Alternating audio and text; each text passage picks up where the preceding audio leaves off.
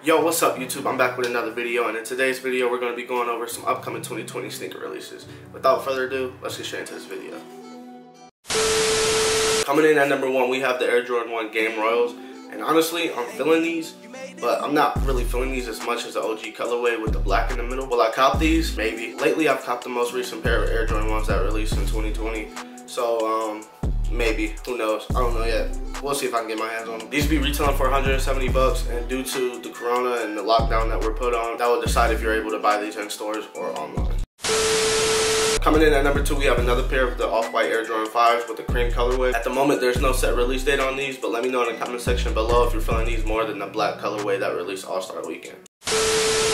Yo, I don't know if this was an April Fool's prank or not, but McDonald's teamed up with the Dame Sixes. They ended up doing a collaboration on a sneaker with the yellow M logo on the side. And uh, yeah, here's the product.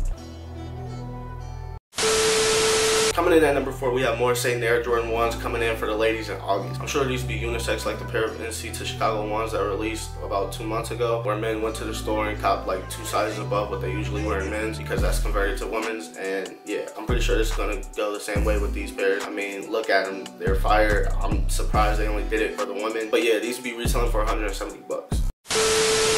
Adidas and Kanye will also be releasing another pair of 700s April 25th in a lime green colorway retailing for 220 bucks.